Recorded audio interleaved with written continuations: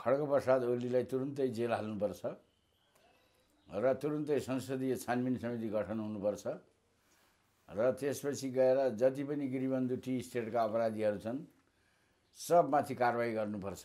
यो संसदमा गएर झुट बोल्ने अपराधी भनेको को? एक संसदमा गएर सभाभित्र सभा हलभित्रै झुट बोलेको छ प्रधानमन्त्री प्रचण्डले। त्यसैले संसदलाई झुट बोल्ने अपराधी प्रधानमन्त्री रहन सक्दैन। उसले नैतिकताको आधारमा राजीनामा दिनुपर्छ। होइन भने संसदले उसलाई चाहिँ नि महाभियोग लगाउनुपर्छ प्रधानमन्त्रीलाई। अब उसको उसलाई त गृहमन्त्री बनाउनु केपी ओली अब कस्तो मान्छे होला? र केपी ओलीको त्यो गृहबन्धु टी स्टेटले नै केपी ओली के हो भन्ने कुरो प्रष्ट भइगयो। त्यसरी त्यस्ताको छत्र छायामा बसेको रवि लामिछानेले केही गतिलो काम गर्छ भनेर हामीले कल्पनै गर्न सक्दैनौँ। एउटा कमारोले अब मालिकको बारेमा केही पनि भन्न सक्दैन। तर मालिकले त कमारालाई त लात्ताले हान्न पनि सक्छ जेमन त गर्न पनि सक्छ। सामन्ती समाजमा त्यस्तो हुन्थ्यो अथवा अरू दास समाजमा त्यस्तो हुन्थ्यो। र यिनीहरू भनेका एक प्रकारको व्यवहार कस्तो छ भन्दाखेरि यो दास मालिकको जस्तो व्यवहार छ यो संसदमा राजनीतिमा। प्रचण्डहरू केपी ओलीहरू यिनीहरू कोही मालिक जस्ता छन्। अनि रवि लामिछानेहरू दास जस्ता छन्। त्यसैले दासहरूको बोल्ने नैतिक साहसै छैन। गुण लागेका छन् नि लाखौँ करोडौँ रुपियाँ लुटेको पैसा दिएर। त्यसले गर्दाखेरि उनीहरू चाहिँ अहिले सुमनाले सब खतम पारी भनेर केपी ओलीलाई हैरान पारिराखेका हुन्छन् शैक्षिक माफियाहरूले। त्यसैले उसले चाहिँ यो शिक्षा क्षेत्रलाई पुरै हुँडलेर यो राजनीति गर्ने पार्टीको नाम एमाले। त्यसैले गर्दाखेरि अहिले चाहिँ सुमनाले अलिकति त्यहाँ केही सिस्टममा ल्याउन खोज्दाखेरि यहाँ टसल भएको छ। गल्दैन होइन ऊ गल्छ गलिसक्यो। ऊ गलिसक्यो ऊ गलेको त प्रचण्ड र केपी ओली त गलेर ऊ संसदीय समिति बन्यो। अब अगाडि नगल्ने कुरा आउँछ। यो संसदीय व्यवस्थामा मत दिनु भनेको यो मत कसले कहाँबाट कसरी लान्छ थाहै हुँदैन। त्यो कुनै जनताको भावनाले आएका कुनै कुनै पनि सांसद छैनन्। प्रेम कैदी सरलाई हाम्रो च्यानलहरूमा स्वागत छ। धन्यवाद यहाँहरू सबै पत्रकार साथीहरूलाई।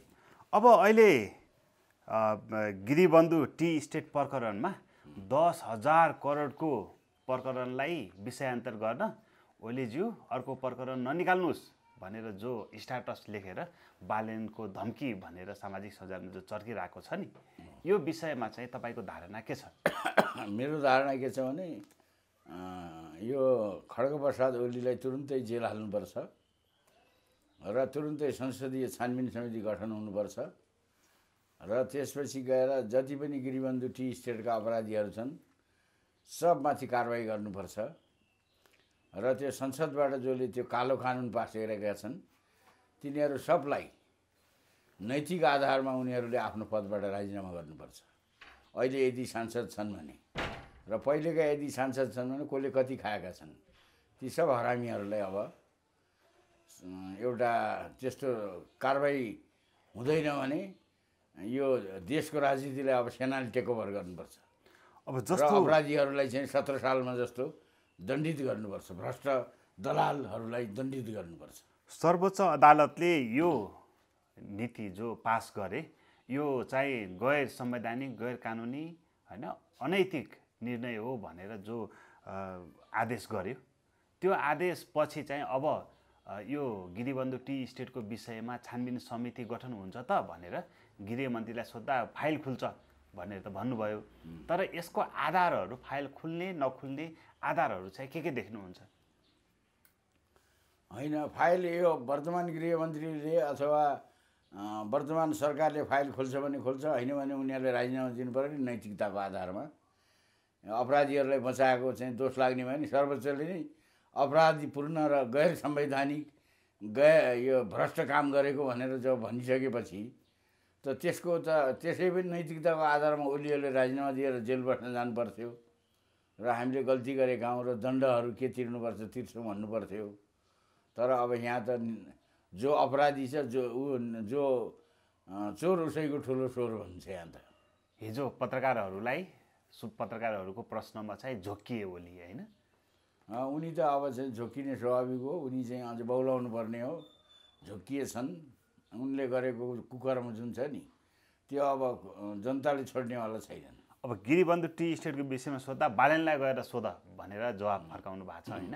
बालेनले बालेनले किन जवाब दिनुपर्ने? बालेनले जवाब दिन्छ। अब बालेन सत्तामा आउँछ होला। प्राइम मिनिस्टर बालेन बन्ने भयो अनि उसरी फाइल खोल्ने भयो नि। अब जस्तो यो गिरिबन्धु टी स्टेटमा नि साँच्चैको नयाँ कोही आएर तपाईँहरूको फाइल खोल्यो भने तपाईँहरू जेल बस्नुपर्छ भनेर जो भनेको छन् नि साँच्चै नयाँ चाहिँ गिरी अब धेरैले चाहिँ गृहमन्त्री रवि लामी छानेलाई सोच्थे होइन।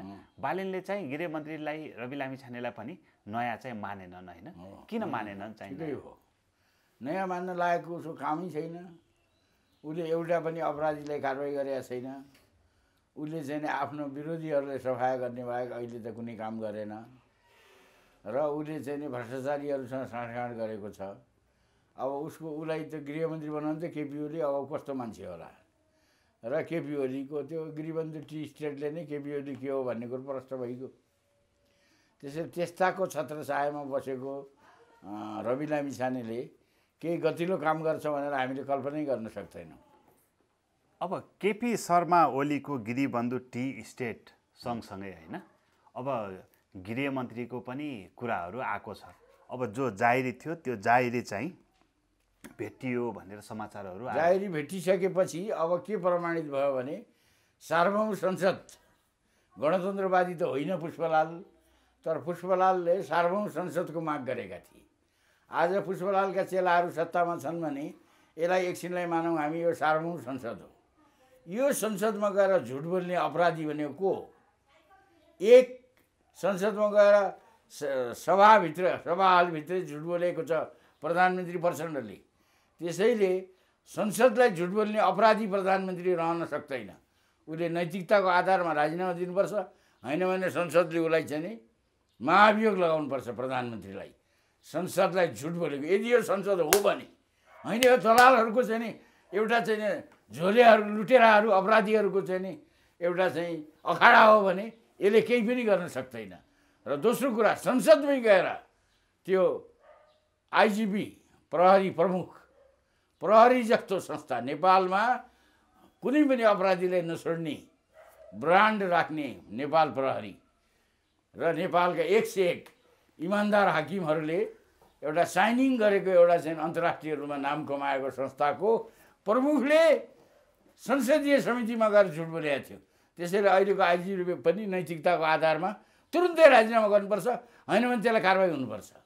अब यो दुईवटा कुरामा नि केपी शर्मा ओली चाहिँ रवि लामी छानेको पार्टी राष्ट्रिय स्वतन्त्र पार्टीका नेताहरूलाई चाहिँ बारम्बार कडाभन्दा कडा टिप्पणीहरू गरिरहेका छन् होइन? आफ्नै गठबन्धनमा रहेको पार्टीको चाहिँ एउटाले चाहिँ यति धेरै विरोध गरिरहेको छ होइन? तर रासोपाले चाहिँ केपी शर्मा ओलीलाई बचाउनेतिर लागेको छ भन्ने छ नि। यो दुईवटा पार्टीको यो दुईवटा विरोधाभासपूर्ण कुराहरूलाई चाहिँ कसरी बुझ्ने नेपाली जनताले? होइन अब कुनै पनि हालतमा सर्वोच्चले नै अनागरिक बनाएको र अमेरिकाको पासपोर्ट नत्यागिएको अमेरिकी नागरिकता नत्यागेको र नेपालको कानुनअनुसार कहिल्यै पनि सांसद पनि हुन नसक्ने प्रधानमन्त्री हुन नसक्ने मान्छेलाई यहाँ यिनीहरूले यी अपराधीहरूले सिँगार पटार गरेर उसलाई चाहिँ नि ल्याएर अगाडि सांसद बनाए पनि अदालतले उसलाई निकालिदियो गृहमन्त्रीबाट। तर फेरि त ऊ कहिल्यै पनि गृहमन्त्री हुने उसले सपना देखेको थिएन। र उसका धेरै प्रकारका उसका चाहिँ सपनाहरू चाहिँ नि हावा भइसकेका थिए। तर केपी शर्मा ओलीको कृपाले ऊ गृहमन्त्री भएपछि अब उसले चाहिँ के छ भन्दाखेरि केपी शर्मा ओलीको ऊ कमारो भएको छ अहिले। र त्यो अब एउटा कमारोले अब मालिकको बारेमा केही पनि भन्न सक्दैन। तर मालिकले त कमारालाई त लात्ताले हान्न पनि सक्छ जेमन त गर्न पनि सक्छ। सामन्ती समाजमा त्यस्तो हुन्थ्यो अथवा अरू दास समाजमा त्यस्तो हुन्थ्यो। र यिनीहरू भनेका एक प्रकारको व्यवहार कस्तो छ भन्दाखेरि यो दास मालिकको जस्तो व्यवहार छ यो संसदमा राजनीतिमा। प्रचण्डहरू केपी ओलीहरू यिनीहरू कोही मालिक जस्ता छन्। अनि रवि लामी छानेहरू दास जस्ता छन्। त्यसैले दासहरूको बोल्ने नैतिक साहसै छैन। त्यो दास मानसिकताले गर्दाखेरि राष्ट्रिय स्वतन्त्र पार्टीलाई जति टिप्पणी गर्यो भने पनि अब अहिले वर्तमान शिक्षा मन्त्री सुमना श्रेष्ठलाई चाहिँ पर्यटक घुम्न नेपाल घुम्न आएको पर्यटक चाहिँ मन्त्री भइसकेछ भनेर टिप्पणी गर्दा पनि कुनै त्यसको खण्डन आएको छैन। अब सुमनालाई पर्यटक मान्ने हो भने त्यहाँ अनेक थरी नेताहरू पर्यटक छन्। होइन? कतिका त यी विदेशकै चाहिँ नागरिकता पनि छन्। पर्यटक हो सबभन्दा ठुलो पर्यटक को हो? ती धेरै जसो पर्यटकहरू एमालेभित्र छन्। नेपाली काङ्ग्रेसभित्र छन्। होइन? उनीहरू त योग्य यो केटाकेटीहरू छन् धेरै जसो राष्ट्रपामा सुमना जस्ता। पढ्न लेख्न त विदेश जान्छन् नि। त त्यहाँबाट पढेर लेखेर केही जान्ने भएर केही क्षमता विकास गरेर देशमा केही राम्रो काम गर्छु हामीभन्दा अघिल्लो पुस्ताका नेताहरू चाहिँ नै गलत काम गरिरहेका छन् भनेर आएको मान्छेलाई अहिले चाहिँ नि पर्यटन पर्यटक हो यो अथवा यो चाहिँ यहाँ घुम्नु मात्रै आएको हो।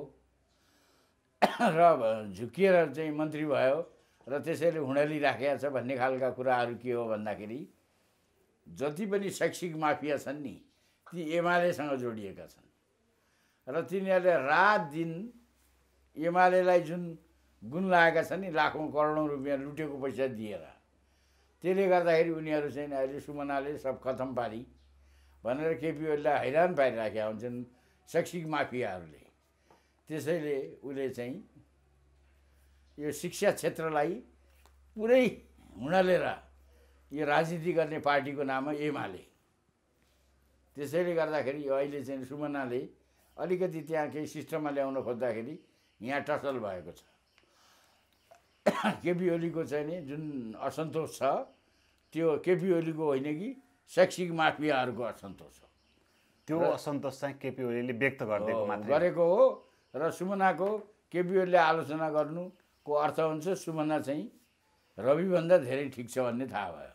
अब जस्तो केपी शर्मा ओलीको मनसाय चाहिँ मध्यावधिमा देशलाई लैजाने भन्ने छ भन्छ नि। त्यो कारणले पर्दा नि गठबन्धन भत्कियोस् भन्ने चाहन्छन् केपी शर्मा ओली? संसद विघटन गरेपछि अब प्रधानमन्त्री त चाहिँ प्रचण्ड नै अथवा जे होस् यिनीहरूको चाहिँ एउटा गठबन्धन नै प्रधानमन्त्री रहन्छ। भोलि काङ्ग्रेससँग एलायन्स प्रचण्डले गर्न सक्दैन। अब काङ्ग्रेस त उसँग धेरै रुष्ट छ। केपी ओलीसँग गर्दाखेरि त केपी ओलीको फेरि दुई तिहाईको नजिक मत आउँछ। चौरासीको मिसन पुरा हुन्छ। त्यसका लागि उसले संसद भङ्ग गर्न खोजेको हो।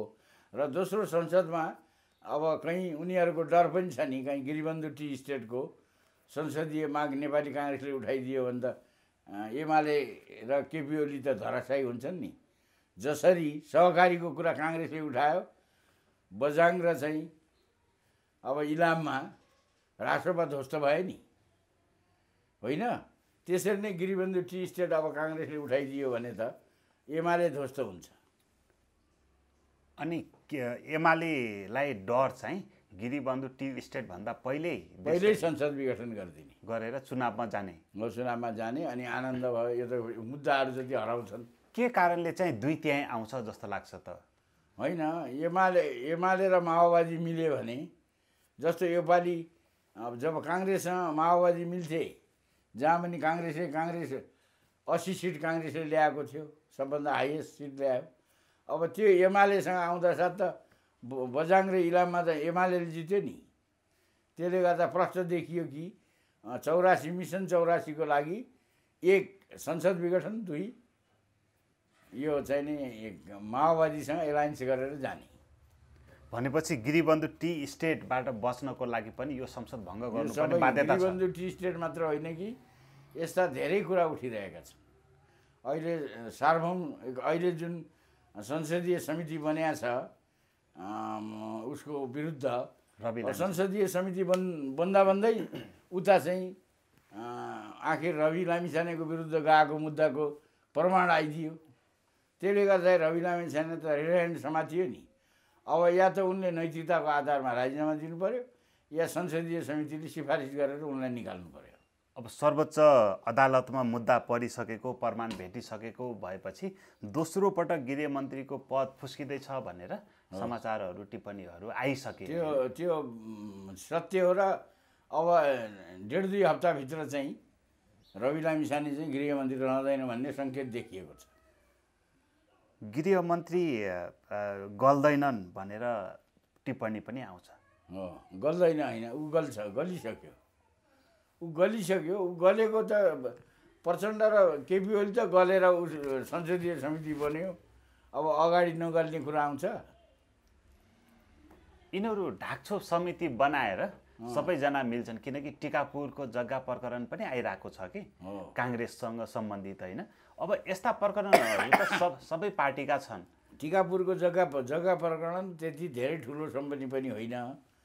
त्यो नेपाली काङ्ग्रेसको एकजना महिला नेत्रीको सँग मात्रै जोडिएको छ। त्यसले राष्ट्रलाई धेरै ठुलो तात्विक अन्तर केही पनि गरेका छैन। त्यहाँ दुई चार आना दुई चार कट्ठा जग्गा उनले चौबिस पच्चिस हजार कति सस्तोमा गएर किनेकी छन् उनले। त्यही हो उनको चाहिँ त्यहाँ धेरै ठुलो घपलाबाजी केही भएको छैन। गिरिबन्धु टी स्टेट र त्यसको बारेमा कुनै चाहिँ तुलनै गर्न मिल्दैन। अब नागरिकता विधेयकमा त सबै मिलेर पास गरेको हुन् नि त होइन? होइन त्यो एउटा कुरो के छ भन्दाखेरि त्यति बेला कुन प्रसङ्गमा कसले के खानलाई नियत थाहा भएन नि मान्छेलाई। गिरिबन्धु टी स्टेटमा यत्रो ठुलो घपलाबाजी छ साठी अर अरबको घपलाबाजी छ भनेर अहिले बालिनले होइन हिसाब गर्दाखेरि त्यस्तो आउँछ देशव्यापी रूपमा भनेर भनेको छ। त्यत्रो ठुलो घपलाबाजी केपी ओलीले गरे रहेछ। होइन? मान्छेहरूले भन्थे केपी ओलीका घरमा त्यो दुई चार फ्ल्याट त नोटले भरिएको छ भनेर बाहिर हल्ला सुनेको थिएँ मैले। त्यो किन रहेछ भन्दाखेरि गिरिबन्धु टी स्टेटको जग्गाको रहेछ नि पैसा त धेरै। अब त्यो पैसा चाहिँ गिरिबन्धु टी स्टेटमा जति पनि जग्गा जमिनको कारोबार भएको छ त्यो सरकारले मुआवजा भर्नुपर्छ भन्नेहरू पनि भेटिए। त्यो सरकारले बेहोर्नु पर्ने हो त त्यो मुआवजा? होइन जसले यसमा के हुन्छ भन्दाखेरि यसमा खास गरी मैले आ मैले बोल्नुभन्दा पनि यसमा चाहिँ यो कानुनी हिसाबले जो चाहिँ यसमा चाहिँ खास गरी चाहिँ नि यो जमिन सम्बन्धी कानुनका एक्सपर्टहरू हुन्छन् त्यसमा संवैधानिक व्यवस्था के छ? कानुनी व्यवस्था के छ? र यसमा योभन्दा अगाडिको प्रचलनहरू के छन्? त्यो आधारमा हुनुपर्छ। त्यहाँ कसैको व्यक्तिगत लहरले यो कुराहरूको निर्णय हुनु हुँदैन। अब जस्तो जसले बैना खाएको छ उसैले बैना फिर्ता गर्नुपर्छ भन्ने कुरा उठिरहेको छ। यो चाहिँ कति सान्दर्भिक देखिन्छ? बैना त खानेले न दिनु पऱ्यो बैना त एउटाले पैसा खाने अनि पहिला बैना चाहिँ सरकारको ढुकुटीबाट किनिदिने। जनताले तिरेको करबाट तिराउने भन्ने षड्यन्त्र। षड्यन्त्र सुरु भइसकेको छ भन्ने सुन्यो। सामान्यतया मैले भन्दाखेरि मैले भने नि सिस्टम पनि हेर्नु पर्यो तर सामान्य नैतिकताको आधारमा कुरा गर्ने हो भने जसले बैना खायो अथवा जसले त्यो पैसा लिएर बाँडचुँड गरेर खाए तिनै अपराधीले तिर्नुपर्छ। अब सुमनाको कुरामा तपाईँको कुरा चाहिँ अरूले भन्ने भन्दा अलिक बेग्लै आयो होइन? बालेनसँग जो टकराव छ नि सरकारको विशेष गरेर एमालेसँग नजिक एमाले र बालेन किन जुधिरहेको छन्? होइन बालेन अहिले कस्तो देखिएको छ भने एउटा एउटा इमान्दार केही गर्छु भन्ने कर्मशील नेताको रूपमा आएको छ। बालेन एउटा चाहिँ बालेनले जे काम गरिरहेछ सहरभित्र सबै काम उसका राम्रा छन् त म भन्दिनँ। तर जनरली मैले हेर्दाखेरि के देखेँ भने बालेनले जस्तो विद्यार्थीहरूलाई छात्रवृत्ति दिलाउने निजी स्कुलहरूलाई जुन एउटा पोजिटिभ तरिकाले नियन्त्रणमा ल्याउने र उसको काम कस्तो भन्दाखेरि दिल्लीमा केजरीवाल भन्ने मुख्यमन्त्री छ नि त्यसकै जस्तो काम चाहिँ नि यहाँ चाहिँ नि बालेन शाहले गरिरहेको छ।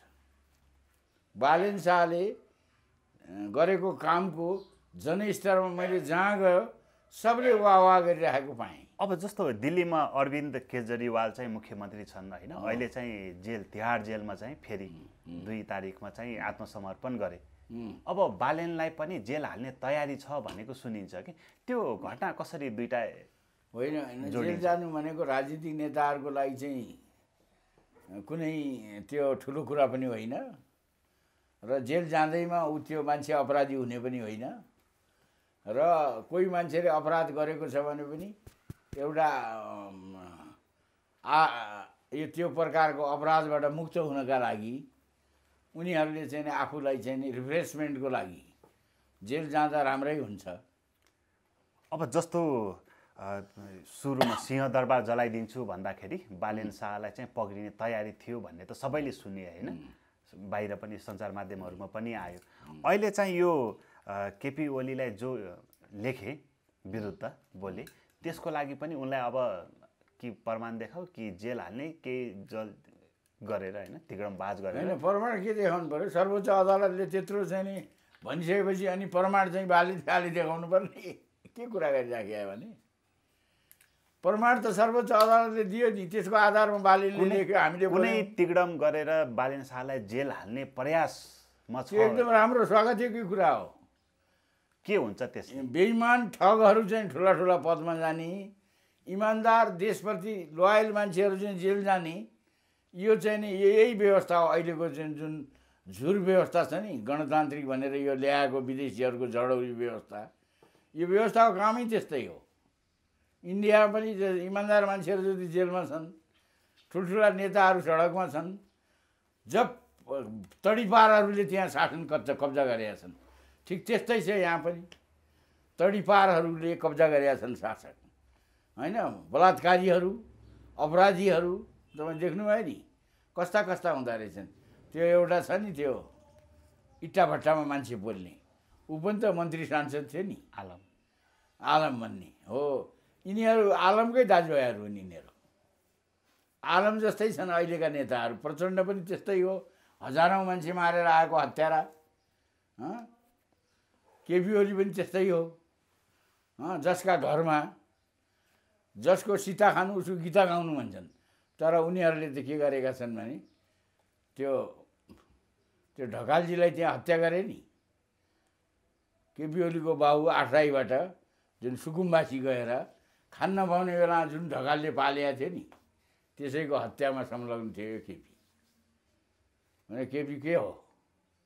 म झापालीहरूले त चिनेका छन्। तर मत दिएर त जिताउँछन्? मत दिए मत भने यो संसदीय व्यवस्थामा मत दिनु भनेको यो मत कसले कहाँबाट कसरी लान्छ थाहै हुँदैन। त्यो कुनै जनताको भावनाले आएका कुनै कुनै पनि सांसद छैनन्। यो अलि बाजिने कुरा भयो कि? अलोकप्रिय छ भर्सारमा मुछेको त तर चुनाव चाहिँ उसैले जित्छ। यो सम्भावना चाहिँ कसरी हुन्छ? होइन पैसा सैसाले मत किन्ने संसदीय व्यवस्था भनेको यो व्यवस्थामा के हुन्छ भने डाकुहरूको व्यवस्था हो क्या। डाकुहरू मिलेर खाने व्यवस्था भन्छ नि। यसमा यस्तै डाकुहरू मात्रै अगाडि आउँछन्। यसमा कुनै इमान्दार मान्छे त हराइहाल्छन्। अब थोरै कुरा डार्क फाइलको पनि गरौँ होइन? डार्क फाइल चाहिँ झुटो प्रमाणित भएको समाचारहरू आए। होइन त्यो कसरी झुटो प्रमाणित हुन्छ झुटो प्रमाणित योभन्दा अगाडि त्यो एकजना बाल सन्तको केसमा पनि अदालतले मानेन नि। योग्यताको प्रश्न आयो नि त्यो उसको ल्याब असिस्टेन्टको जसले ल्याबको मान्छे छ नि। उसले चाहिँ त्यो जुन निर्णय दिएको छ त्यहाँ रिपोर्ट दिएको छ त्यसलाई अदालतले मानेन। त्यो नजिर छ हामीसँग। त्यसैले सिधा कुराको जुन टेप हो नि त्यो शत प्रतिशत सत्य हो भनेर यहाँ मान्छेहरू भनिरहेका छन्। र त्यो प्रमाणित गर्ने यहाँ त मान्छेले चाहिँ यहाँका चाहिँ ल्याबहरूले गरेको हामीले मान्छे हामीले मान्छेले मान्दैनन्। बरु त्यो आर्जुको केसमा सिबिआईले गरेका थियो नि त्यो चाहिँ ठिक थियो। त्यस्तो प्रकारको होइन सत्तामा सत्ताको अधिपति चाहिँ शेरबहादुर देउबा उसको अर्धाङ्गिनीको टेप चाहिँ उसको विरुद्ध बोलेको कुरा ठिक हो भनेर आइदियो। हो त्यस्तो पनि कोही ल्याब असिस्टेन्ट हुन्छन्। कोही यस्ता ल्याब असिस्टेन्ट हुन्छन् त्यो बालसन्तको जस्तै पैसा खाएर चाहिँ झुटो रिपोर्ट दिने। अब यहाँ पनि अहिले पैसा खाएर अथवा कसको दबाबमा हो झुटो रिपोर्ट दिएको भन्ने मान्छेहरू भन्न थालेका छन्।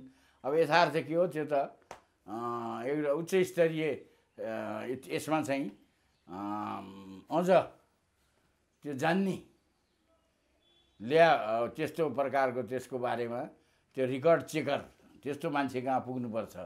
मान्छेहरू कतिसम्म भन्न थालेका छन् भने स्कटल्यान्ड यार्ड यार्डको जस्तो ब्रान्डेड कुनै संस्थाले चेकअप गर्यो भने र त्यसले होइन भन्यो भने जनता मान्न तयार छन्।